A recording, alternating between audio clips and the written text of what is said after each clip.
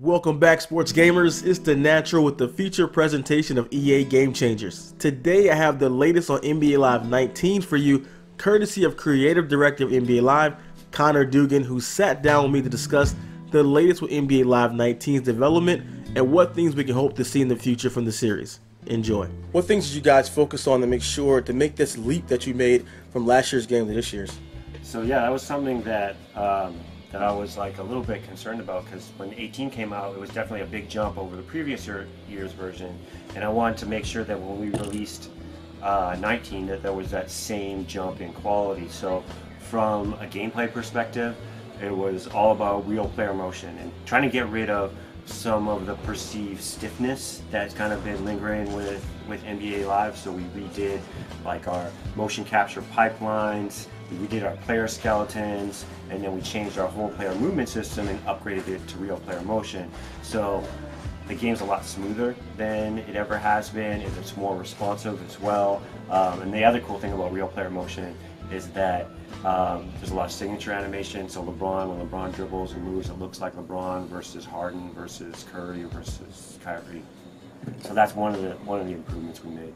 Um, secondly, one of the things that was uh, fairly well received by our players is our one-on-one on-ball mechanics that we introduced in 18.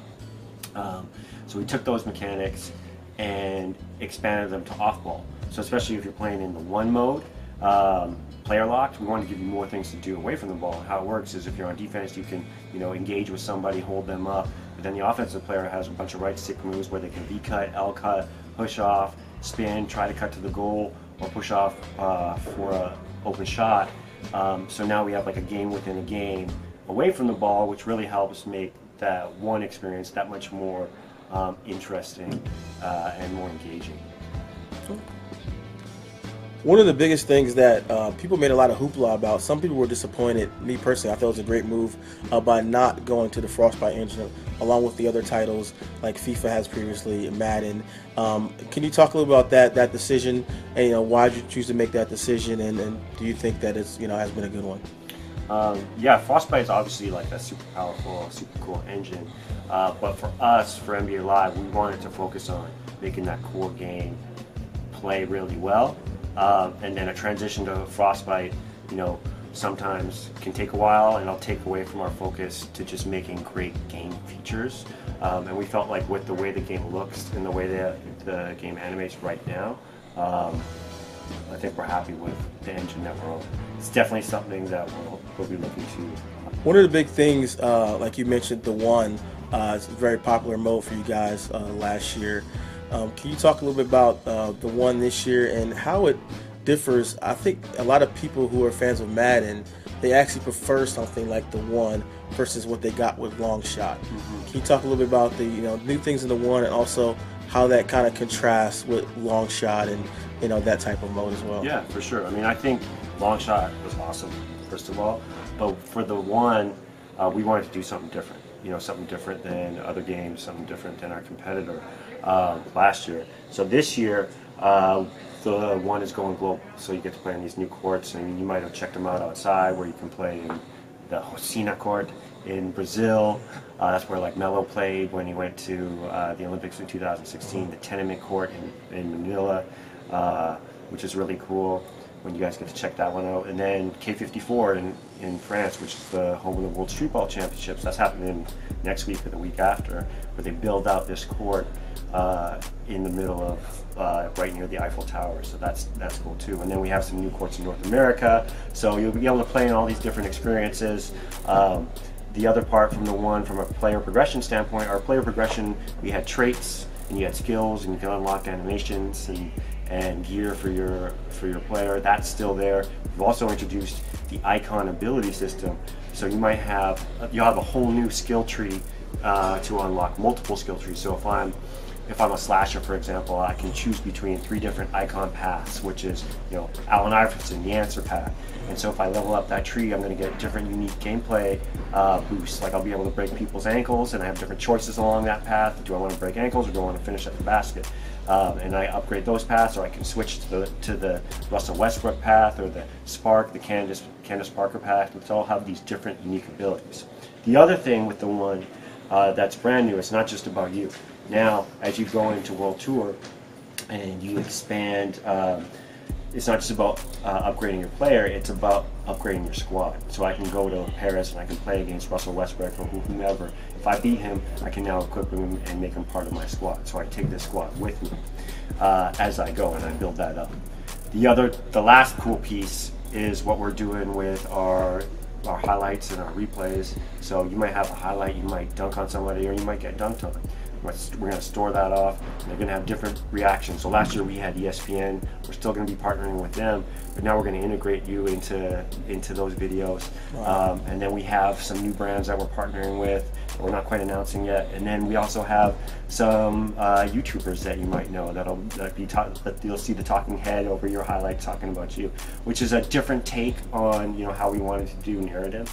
Um, and I think it, it'll be like unique and, and different and fun.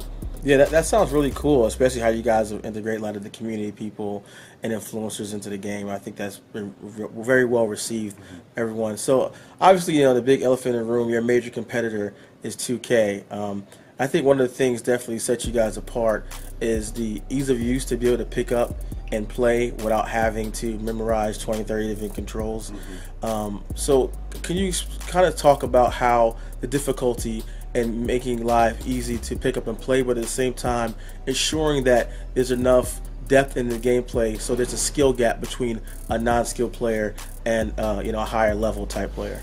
Yeah, I mean, I think that's there's a lot to to that. Like you're you're right on in terms of our goal with live. It's got to be easy to pick up and play, and it's got to be fast to the fun. And what that means is like you got to go in the game and you got to see something really cool or experience something really cool without having to know 20 different button combos and spend spend uh, you know a couple weeks on the game fast the fun is always going to be a priority for us. Uh, but at the same time, we have these new mechanics that are skill based, like the one on one mechanics, the dribble mechanics. There's some moves that you can pull off that are crazy, but you're going to have to have the stick skills. Same with our shooting. Like, you know, people can catch and shoot and hit that green and can get it off. Some people can do it really well, some people are just okay. Um, and we want to make a game that is definitely skill based, uh, where skills win, but we also have to balance that with, you know, making it easy and fun for people to pick up and play. Because when when I want my goal is when people pick up live, they have fun with it, and I think we're starting to get there for sure. Um, but speaking more towards the skill gap as well, and I know with Madden the big thing is esports this year. Mm-hmm. Um, where do you see live going that direction with esports? Do you have anything to announce or talk about, or your feelings on it? Um, in terms of esports, we're not quite there yet, but I think um, it's definitely something that we're going to be looking at in the future. Would I like live to be uh, have a competitive aspect to it? Absolutely. Um, I don't think it's.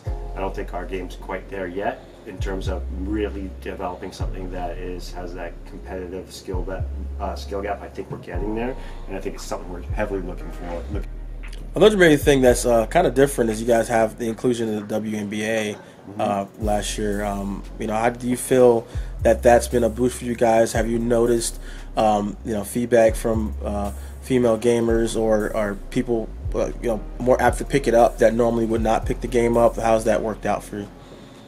I mean, I think everybody, men and women, love the in- integration of a WNBA. I even have game changers talking to me about WNBA gameplay and how it's like this and that, and it's more fun. And, and so people love that experience in terms of bringing new people. Like, yeah, it's cool to if you have like a, a daughter, uh, like, and they pick up the game and they can play with their favorite players that you know aren't men that are in the WNBA. I think that's awesome. You know, and and um, like we're really excited to have that integration. So, what do you feel are um, some things? It was some cool features you guys added later during the year and uh, patch and update.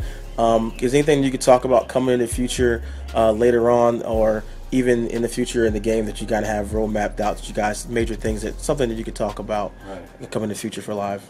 So we definitely can't talk about specifics, but like you said, last year we didn't stop. As soon as as soon as we shipped, we had more content coming out with live strike, live events, you know, some enhancements to edit player or the addition of edit player. I think players can expect the same same type of live service and enhancements. Uh, one major announcement um, on the Madden side uh, was Madden on PC this year, and uh, a lot of people didn't even believe it when it first came out because it's been so long since it's been on the PC. Uh, can you see live coming to the PC at some point in the future? I would love to see it come to come to PC in the future. You know, I'd be most excited about all the mods that people would. It would be crazy. It'd be so cool. Um, so definitely something. Me personally, I'd love to see it uh, on PC. It's not something that's going to happen uh, in 19, but it's something we'll definitely look look to uh, in the future. All right, cool. I appreciate you taking the time. Um, Sam was chatting with us. Uh, always great. And um, guys, make sure you go ahead and check out live. It's uh, definitely a big jump this year. So appreciate it. Thank you. Thank you, fellas. Everyone. Really hope you guys enjoyed the video. If you did, make sure you drop a like. And if you love our content here at SGO, subscribe and turn those notifications on so you don't miss the latest from all of your favorite sports games. This is the naturalsportsgamersonline.com.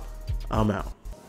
Never, never sold her. Got the sold her. I would never yeah, they told her. Rock 'em like a boulder. All that do not fuck with most. I got a plug caller. I get a hundred calling. You stenching and telling the niggas you got for a hundred dollars.